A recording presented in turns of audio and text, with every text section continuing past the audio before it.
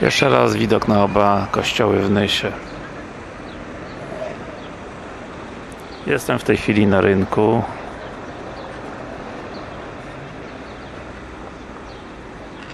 Kościoły naprawdę prześliczne.